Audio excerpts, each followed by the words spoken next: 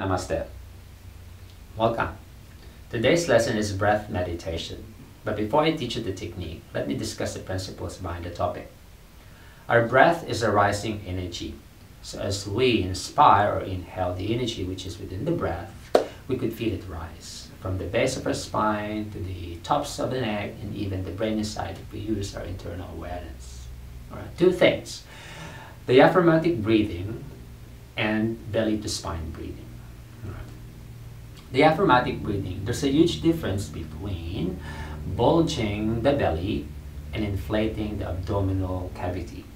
At a glance, they may seem similar, but if we use our awareness and then breathing through it, following the principle of rising breath, it is entirely different. All right. Now try to just breathe in and then allow the sensation to push downwards. Thus the belly bulges forward. And an exhale. Don't worry about the exhale. The exhalation will have a similar effect. Breathing in, push down and open the tummy forward. And exhale. So as you exhale, the belly hugs. Breathing in, bulge it. Exhale. So keep the realizations inside you. Now, try to reverse the, the pattern inside the mind. Still, yeah, initiating the breath to start from the base of the spine, a little bit below the belly button. But instead of pushing the sensation downwards, lift it up.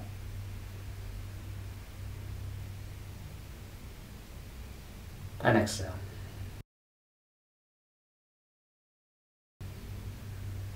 So the exhalation will give us a similar effect. The belly goes hollow indeed. But instead of bulging the tummy forward, lift the awareness. Exhale. Uh, one more.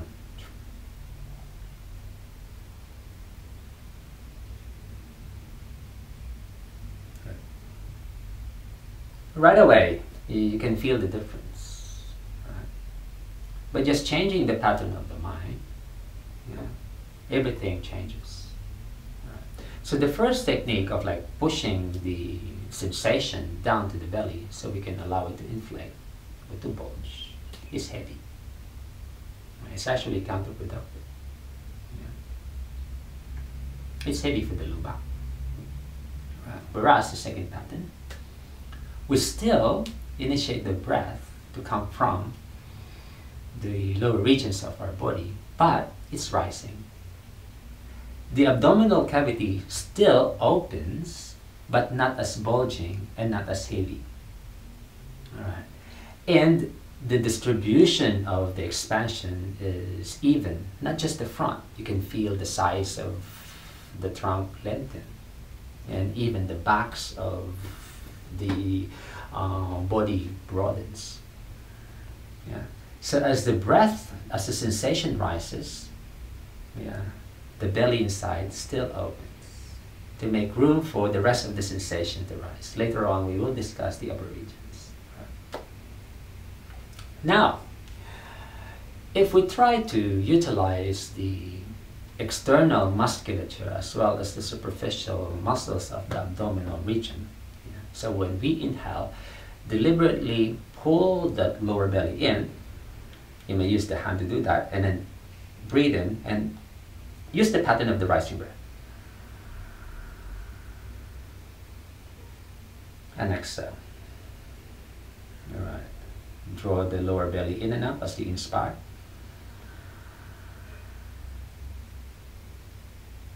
And exhale.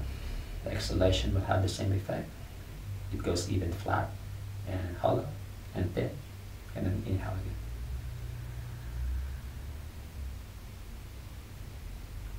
And exhale. Alright. So comparing the two, yeah, the sensation is the same. The breath is rising. But the difference is the second pattern where we engage really the muscles of the abdominal walls yeah, to aid us in lifting the energy it is even more powerful when it comes to yeah, alerting the spine, lifting the spine, and then hugging our spine.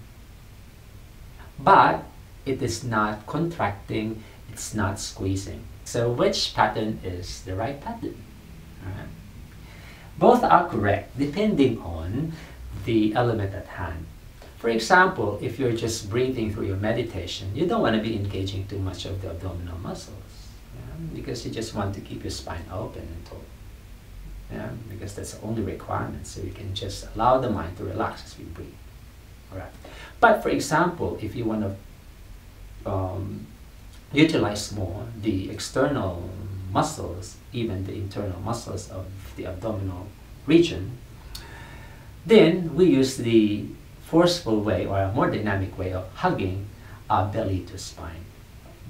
What are these elements? Weight bearing position, predominantly asanas, especially the deep ones. Deep hip openers, back bends, where you wanted to maximize the length of your spine from the base of the spine, so you engage the, the muscles to keep the lower regions of the spine supported as you hold the position, inversions definitely, as well as some um, internal cleansing, which involves the physical. Agnisar Kriya, Uddiyana Bandha Kriya, and some uh, breathing regulation, which requires us to um, keep the, the lower regions of our spine uh, secured and firm you know, as we do the technique. For example, breath retention, Samkumbhakasa, and they require us to really suck the belly in. All right. So both patterns are correct depending on the element at hand. But yeah, when we breathe through the tummy, yeah, I have to be very clear, we don't push it downwards. Yeah, we don't bulge it, we don't force it downwards. Yeah, it's counterproductive when it comes to channeling the energy. Because one of our goals here is to lift our awareness of the energy. And the Apana Vayu, which is predominantly outward and downward flow, we want to reverse the pattern by lifting it up. Yeah. Uh, for um, the, the energy to uh, rise to the upper regions of our energetic system. Not just in meditation, even when you do your normal breath patterns. It's a healthy way of breathing will give us the sensation that the breath is rising. Right. So that takes care of the lower region. Now here, all right. So when you breathe through the thoracic region, this one, but initiate the breath, you know, follow the first pattern, and then keep breathing in. Uh, it's easy you know, because this is the main channel of our respiration. Know, so the chest expand, the lungs open, all right, and a spine rise taller. You know, whether the belly to spine breathing or the gentle one, you know, sensation rises up. Yeah, the chest, the lungs, Mm, the rib cage, they expand. Not just the front, but also the side and also the backs. Alright, so if you keep breathing through it from the base of the spine, now you can feel this rise, and the collarbones lift up, and you feel the shoulders just relax. And there's a light involuntary movement of the head forwards. Yeah. To make room yeah, for the spine of our body to open yeah, as we lift uh, awareness of breath out. But you don't force the chest forward. Yeah, it's more of the weight of the body is actually shifting lightly to the back so you can feel the, the sitting bones if you're sitting cross-legged, even if you're sitting on a chair, even if you're standing. So you don't want to be forcing it. Rather, think about the long vertical line from the hips to the space between the two bottom ribs the collarbones, and the hollow of the throat. And exhale. All right. So it's easy, this one, to manage because generally, normally, the lungs will just open, expand. The rest of uh, thoracic region will open to make room for the breath to fill uh, our lungs. Yeah. Now, here. Now, how can we now lift the sensation because the energy it becomes a sensation yeah? it's not the air really? Definitely we can't lift the air inside the brain right?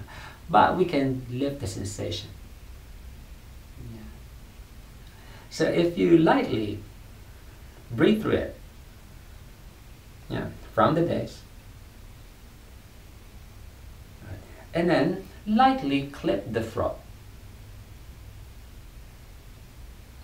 And then hold it a bit. As you clip the throat, alert the, the right and the left hemispheres of the brain, and then lightly pull the backs of the jaw to the backs of your own neck. Like you're forming that gentle smile.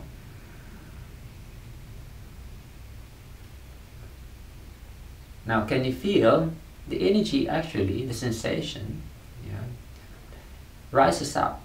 You can feel it here, and you can feel it here. All right. So, our lesson will revolve around that principle that the breath is rising and we can lift it all the way up to enter the inner brain. Alright. So sitting up tall. This is called the prana mudra or the shanti mudra. Means peace. Yeah, so it's good to have that spiritual um, essence of the lesson. Right. Sitting up tall. Yeah. And then just allow the breath to rise. See, feel it rise inside and there's a light folding of the belly region, but the sensation is expanding. Up to the chest, feel it open and expand. Up to the collarbones, the hollow of the throat. And hold one or two seconds. Exhale. Right, do that one more time, breathing in.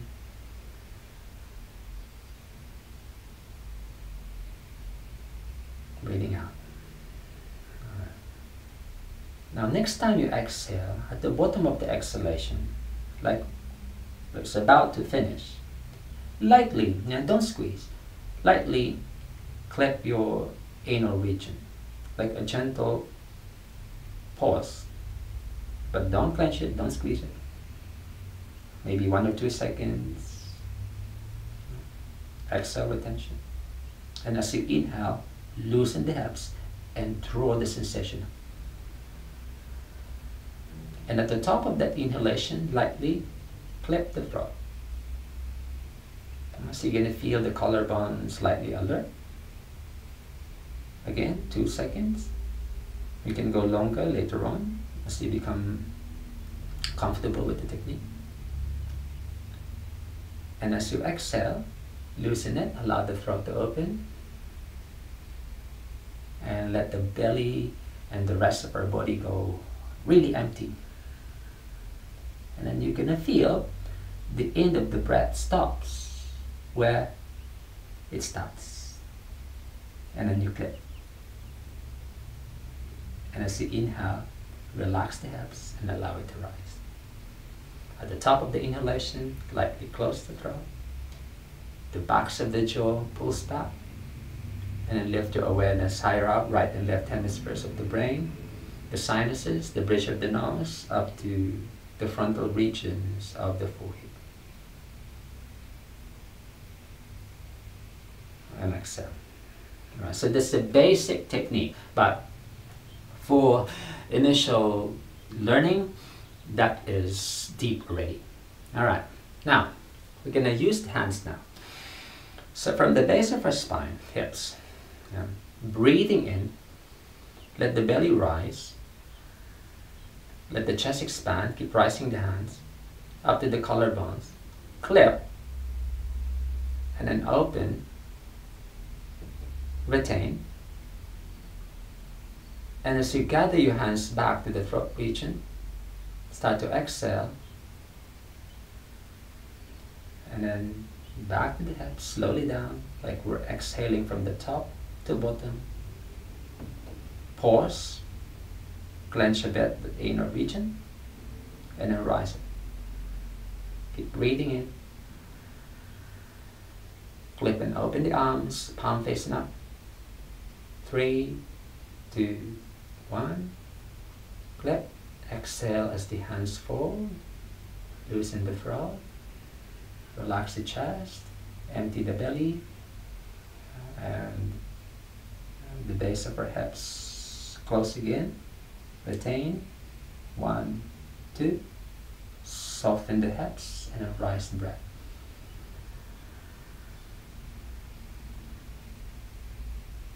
On the top of that, light clip of the throat. Lift the awareness up.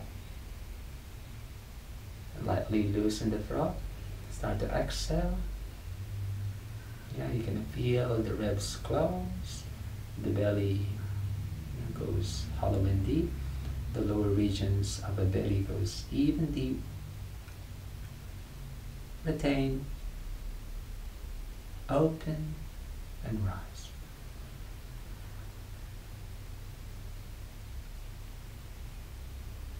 Back.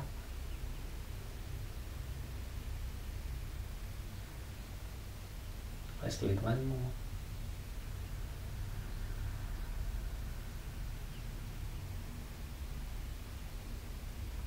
Like an act of offering, palms up. Exhale, back to your bodies.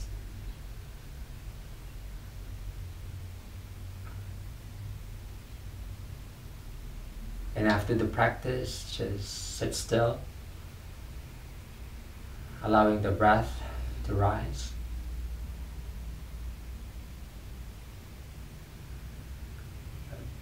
And we lightly blink the eyes open after the practice.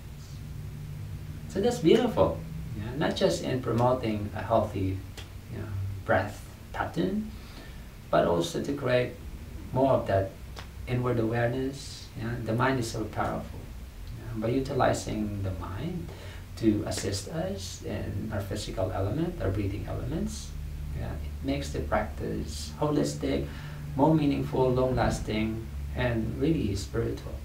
Yeah, something which brings about the beauty of our nature, and not just the body, not just the breath. Something that comes from here. Yeah. Hope you enjoyed that one. See you next time. Have a lovely meditation. Namaste.